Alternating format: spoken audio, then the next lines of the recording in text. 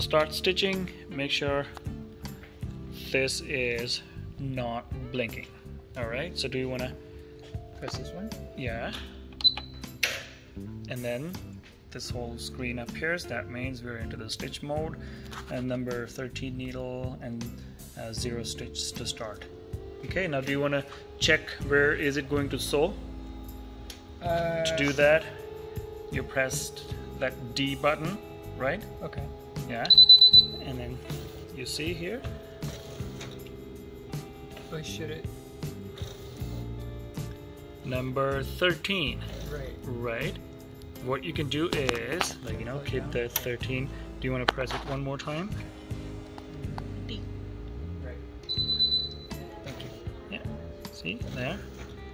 So it's right between the hoop and it's not going to touch any border. Hmm.